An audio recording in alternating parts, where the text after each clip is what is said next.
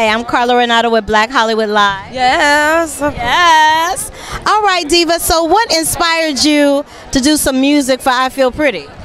Um, well, my uh, publisher is the music director for the movie STX Studios, and um, he loved one of the songs that I just did in February, and then he's like, it's perfect for the movie. So it just happened by coincidence, but there's not really any coincidences in life. It happened for a reason. Can you break off a little piece of it on air for me, real quick? Oh God. Okay. Um, how does it go again? Yes, I do know. it's um, it's very upbeat, so it's hard to do a cappella, but it goes like, "What's cool? It's you.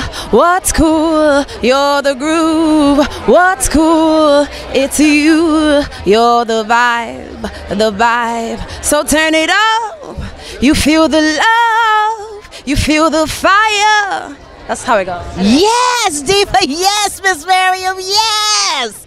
And um, you have a single, that, not single, but you have a um, LP that just dropped, right? Yeah, yeah. I have an EP that dropped. Um, it has three songs on it: "Leave," "Ask for Help," and "Be the Change." It's about uh, social consciousness and like what we need to do as human beings to get to where we need to be.